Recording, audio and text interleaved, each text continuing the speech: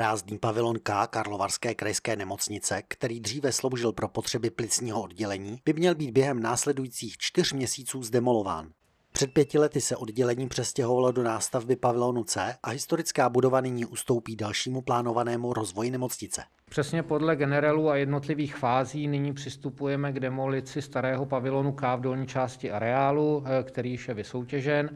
Eh, ta by měla probíhat od ledna do dubna a od května už nastupuje kompletní rekonstrukce a dostavba pavilonu L. Eh, ten je vlastně v té střední části, kde by měla být nová transfuzní stanice a další zázemí i administrativní, i odborné pro Karlovarskou krajskou nemocnici. Předpokládané náklady ale vzhledem k prudkému nárůstu cen materiálu na trhu stouply. Ten aktualizovaný rozpočet podle projektové dokumentace eh, byl eh, vyšší, než jsme předpokládali, zhruba o 64 milionů korun na celkovou částku 200 milionů korun. To znamená, i nyní schvalujeme vlastně eh, navýšení finančního krytí, tak abychom mohli vypsat tu veřejnou zakázku. Obě akce jsou součástí komplexního generelu, který počítá s další modernizací areálu. Těch etap je tam celá řada s tím, že budou pokračovat minimálně následujících 8 let. Eh, po dostavbě pavilonu L eh, nyní také probíhá zpracování studie na střední zdravotnickou školu v areálu nemocnice. Eh, bude následovat také dostavba toho hlavního bloku pavilonu G, kde bychom rádi měli připraveny prostory pro komplexní onkologické centrum. První etapa projektu General Karlovarské krajské nemocnice počítá s investicemi v souhrné výši více než 1,5 miliardy korun. Další informace najdou zájemci na webu Karlovarského kraje. Praze byla oficiálně zahájena výstavba Štvanické lávky. Lávka propojí dynamicky se rozvíjející městské čtvrti Karlín a Holešovice s ostrovem Štvanice. Já to vnímám jako další propojení města Karlína s Holešovicemi, především pro pěší a cyklisty, bruslaře na kolečkových bruslích a podobně. Propojení tady bylo vlastně provizorní e, pomocí přívozu, e, který provozoval dopravní podnik. Samozřejmě ne celý rok, ale jenom e, v době těch teplejších měsíců a jinak mm, jenom z Hlávkova mostu, což vlastně není příliš pohodlné pro občany. Ta nová lávka vyjde dohromady na 298 milionů korun. Kromě toho se budou tady dělat ještě další parkové úpravy. Tady na Štvanici by měl vzniknout vlastně nový park, plus na straně Karlína bude také nový park a tamhle za mnou eh, doufám, že jednoho dne uvidíme novou Vltavskou filharmonii. Stavbu štvanické lávky provede společnost Skanska. Lávka bude vyrobena ze speciálního materiálu. Jedná se o vysoce hodnotný beton eh, s roztroušenou výstuží. Eh, dosahuje pevností až 120 megapaskalů. Eh, co se týče velikosti, takže lávka má, jak říkal inženýr Tej, 300 metrů je lávka, až 80 metrů bude navazující rampa. Šířka v pochozí části jsou 4 metry, tak aby byla dostatečně kapacitní pro chodce i cyklisty a zároveň pro nouzové použití IZS. Městská část Praha 8 v současnosti připravuje také opravu a rozšíření cyklostezky, která bude na lávku přímo navazovat. Proběhne i rozšíření na 4 metry a zároveň bude připraveno nové veřejné osvětlení, takže eh, se po ní bude bezpečně moci pohybovat lidé i v noci. Naváže to na úsek, který jsme opravovali v minulém roce a bude to až eh, na úroveň Negreliho viaduktu opraveno. Stavba štvanické lávky by měla být dokončena za 14 měsíců, konkrétně tedy na jaře roku 2023. Dagmar Kopečková, Televize Praha. Léčit onkologické pacienty v Olomoucké fakultní nemocnici pomáhají tři nové lineární urychlovače. Největší zdravotnické zařízení v kraji je pořídilo za více než 200 milionů korun. Radioterapie je jednou z těch dvou zásadních součástí léčby onkologických onemocnění a my jsme rádi, že dneska disponujeme technologií, která představuje, řekněme, zlatý standard v Evropě. Požehnej tomuto přístroji a požehnej všem, kteří na tomto pracovišti pracují a budou pracovat. Požehnej všem pacientům, kteří se budou ošetřováni. Moderní přístroje k ozařování nahradili předchozí generaci urychlovačů. Disponují kompletním vybavením pro všechny typy radioterapeutických technik a dokážou pomoci pacientům i v situacích, v nichž byla dříve medicína bezmocná. Dobu ozařování zkracují z desítek minut na několik málo. To rameno gentry se otáčí uh, přibližně rychlosti uh, jedné otočky za 60 sekund. To umožní aby ten počet, neustále rostoucí počet pacientů, které se na nás valí, aby jsme byli schopni eh, krásně zvládnout. A proto jsme rádi, že ty přístroje máme tři, protože oni jsou úplně identické. Pacienti z nádory hlavy či krku mají na sobě po dobu ozařování speciální fixační masku, vyrobenou na míru. Zaměří se na CT, nakreslí se mu ty zaměřovací kříže a takhle potom on vlastně si lehá celou tu dobu všechny ty frakce, které se rozařují. A my jsme schopni potom simulovat svazky toho ozařovače do toho nádoru. Modernizace přístrojového vybavení byla zahájena v loni v březnu. Stavební práce byly extrémně náročné. Svislé železobetonové konstrukce dosahují tloušťky kolem 1,5 metru. Byly použity baritové omítky a výplně otvorů jsou stíněné olovem. Mimo jiné zde vznikla velká stínící ocelová stěna tloušťky 37 cm, která dosahovala váhy 64 tun, což je poměrně nestandardní a není, není běžné tyto, tyto konstrukce provádět. Onkologická klinika ve fakultní nemocnici je jedním ze šesti center vysoce specializované onkologické péče na Moravě a jediným v Olomouckém kraji. Podkrovní prostory objektu Domu dětí a mládeže v České Třebové září novotou. V minulém roce totiž prošly rekonstrukcí. Práce probíhaly od jara loňského roku e, i přes zdržení, které bylo způsobeno tím, že nebyl dostatek stavebního materiálu na trhu, tak se podařilo celou stavbu dokončit do konce roku minulého. O záměru se začalo přemýšlet už v roce 2017. Důvodem byl zvyšující se zájem dětí o kroužky a s tím související nedostatek prostor. I když máme děti na základních školách, eh, máme tam kroužky, které nabízíme přímo v prostorách základních škol, tak i přesto se tady stane, kdy už ten kroužek nemáme kam umístit. Konkrétní příklad eh, leteckých modelářů, kteří se sem vlastně už nevešli. Výsledkem jsou dvě nové klubovny, které jsou momentálně využívány pro výuku angličtiny a rybářského kroužku kroužku. Dále zde vznikly dva kabinety. Nechybí ani sociální zařízení se sprchou a bezbariérovou toaletou. Kromě půdní vestavby došlo také k opravě střechy a dále k opravě rozvodů elektrických podobně a výměně podlah v jednotlivých učebnách. Novinkou je výtah, který je přístupný zvenku. Umožní tak vstup do budovy také i mobilním osobám. Určitě jsme spokojeni. Eh, myslím si, že se to podařilo. Děti, co tady vlastně byly na prvním kroužku, tak eh, mám zprávy, jak byly nadšené. Investice celkově vyšla městský rozpočet na 12 milionů korun. Téměř dvě třetiny z této částky byly hrazeny formou dotace. Dotace byla přitom udělena prostřednictvím místní akční skupiny Orlicko z integrovaného regionálního operačního programu. Zbytek byl financován z městské pokladny. Kroužky se v těchto dnech už za zdmi tohoto volnočasového stánku rozeběhly naplno.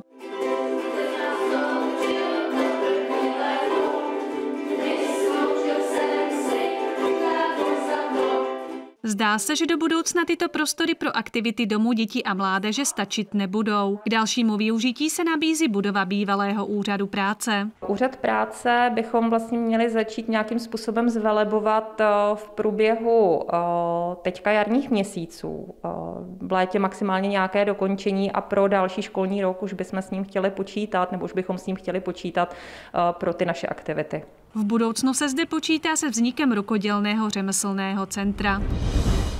Na podzim minulého roku havaroval u obce Mnichov řidič osobního auta, který nezvládl řízení a sjel do rybníka. Naštěstí krátce po nehodě jeli kolem Radek Macháček a Jan Procházka, kteří si všimli téměř potopeného auta s člověkem uvnitř.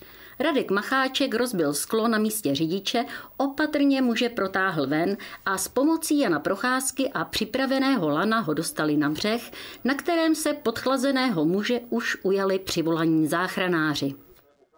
Strakonická televize s Radkem Macháčkem a Janem Procházkou natáčela rozhovor poté, co za svůj statečný čin převzali pamětní minci krajského ředitelství policie Jihočeského kraje.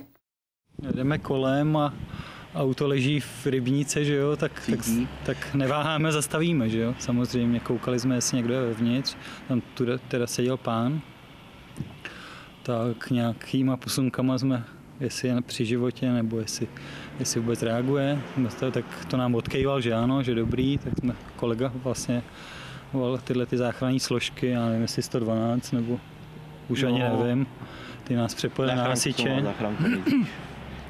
No, a nic, nezbývalo nic jiného, než jít do té vody, že jo? protože jsme viděli, jak auto klesá před očima. Tak jsem šel do vody, vyndal jsem si cenosti, telefon, peněženku a šel jsem do vody. No. Tak hlavně jsem nejdřív musel rozbít vůbec okno zadní, aby jsem si nějakým způsobem komunikoval. Říkal jsem mu, ať mi otevře dveře, nebo ať mi to otevře jako vlastně tím centrálem, což jako moc na to nereagoval, jestli byl zmatený, nebo tak jsem neváhal, praštil jsem do toho předního a nějak jsem už ani nevím, jestli se sám přendal jakoby, jako přeles k tomu řidiči. No, nějak jsme jako podal ven, no, ale já vím, že jsem pána držel za pásek prostě. Mm-hmm. Potom už jsem jako dál. Vlastně vyndal, jako říkal jsem, ať vyndal, ve vodě, protože no, fakt už měl jenom hlavu jako no. tak nějak, si myslím, že tam mohl sedět fakt jako, že byla vidět hlava jako. Mm. Takže vyndal hlavu, ruce a pak jsem ho začal tahat, no, byl jsem nějak mhm. zapřený o to auto, říkám, po ramena jsem byl ve vodě a na Strakonickém policejním ředitelství byl 12. ledna Radkovi Macháčkovi a Janu Procházkovi slavnostně předán také titul Gentleman silnic. Stali se tak 207. a 208. držitelem tohoto významného morálního ocenění v České republice. Eh, ocenění Gentleman silnic eh, dáváme už od roku 2004 a za tu dobu jsme ocenili už 208 lidí, kteří pomohli po vážné dopravní nehodě. Vůbec prvním gentlemanem silnic se stal v prosinci 2004 Jiří Lukáč z Albrechtiček na Novojíčínsku, který vytáhl z hořícího automobilu 17-letého mladíka. Eh, my se snažíme eh, vyzdvihávání těch příběhů vlastně a medializací těch příběhů o to, abychom byli inspirací a motivací pro ostatní řidiče eh, a nějakým způsobem je třeba edukovali, jak se mají chovat v té krizové situaci, protože ta lhostejnost na těch silnicích opravdu vzrůstá a my věříme, že zveřejňováním těch, těch příběhů s tím dobrým koncem, tam, kde opravdu byla ta pomoc velmi významná, přimějeme řidiče k tomu, aby se třeba nad sebou zamysleli a e, třeba snížili rizikovost svého chování, nebo když pojedou sami okolo dopravní nehody, aby aktivně pomohli. Statečný čin čerstvých držitelů titulu Gentleman silnic vysoce ocenil ředitel územního odboru policie Strakonice Jaroslav Nohejl. No tak já to osobně hodnotím z hlediska morálky velice vysoko, že jo, protože není jednoduché zastavit u nehody nebo u člověka, který potřebuje pomoc a tu pomoc mu poskytnout. Že ta nehoda byla specifická v tom, že vozidlo bylo eh, z velké části potopeno a zřejmě ani z počátku teda ti dva zachránci nevěděli, zda ve vozidle někdo je, nebo zda tam nikdo není. A potom teda, když teda zjistili, že tam ve vozidle je ten senior, tak potom teda eh, opravdu postupovali velice rozhodně a velice odvážně eh, že dá se říci, že teda nastavili svůj vlastní život, nasadili a eh, toho člověka vytáhli a vytáhli ho včas v, této, v těch situacích záleží velice na tom, jak rychle ta pomoc přijde. Že jo? Pokud teda ten člověk není lhostejný a takto rozhodný, tak jsem rád, že to dopadlo takhle dobře, jak to dopadlo, že senior teda byl a řidič teda byl druhý den po této nehodě propuštěn z nemocnice do domácího ošetřování, v podstatě zdrav. Gentleman silnic je společným projektem Generali České pojišťovny a Policie České republiky. Jeho cílem je motivovat účastníky silničního provozu, aby k sobě nezůstávali lhostejní a pomáhali ostatním při dopravních nehodách. Pojď hrát hokej, tak se jmenuje celorepubliková akce Českého svazu ledního hokeje, ke které se připojil i Vsetínský hokejový klub už po několikáté tentokrát s podtitulem Velký hokejový nábor. Akce pro děti bez rozdílu toho, jak dobře umí nebo neumí bruslit, se na zimním stadionu na Lapači uskuteční v úterý 25. ledna od 17 hodin se dozví, jak vlastně ten hokej funguje, eh, seznámí se se zázemím eh, zimního stadionu, našich kabin, eh, zjistí, co to obnáší, jestli ten, jak ten sport vlastně funguje, co to dítě potřebuje, jak vypadá výstroj malého hokejisty a tak dále. I to, že vlastně je to bezpečný sport, protože až do sedmé třídy je to bezkontaktní. Lákadlem pro mladé zájemce o hokej bude i zajímavá možnost se na ledové ploše potkat s hráči klubu a zahrát si s nimi. Zažijou si bruslení s Kubou Málkem, eh, naším brankářem. Asi kdo se aspoň trošku motá kolem hokeje, tak ví, eh, že to je kluk, který je draftovaný, v, je na, byl na mistrovství světa 20. Eh, takže ten už se, že se těší prostě na ty nově příchozí, na nově příchozí děti. Dalším bonusem může pro někoho být také podpora Českého hokejového svazu, který v případě registrace a zájmu dítěte ve věku 4 až 7 let o hraní hokeje přispěje financemi na výzbroj a výstroj. Hokeji se na Vsetíně pod vedením trenéru VHK věnuje na 250 dětí. To, k čemu je sport vede, schrnul Daniel Tobola z VHK. Děti se učí k nějaké píli, soudružnosti, kolektivismu, prostě vyhovět si, ale i k tomu, aby chodil pravidelně, aby stahoval pravidelně, aby měl smysl pro povinnost a o tom eh, v podstatě celý život přece je i v té naší demokracii.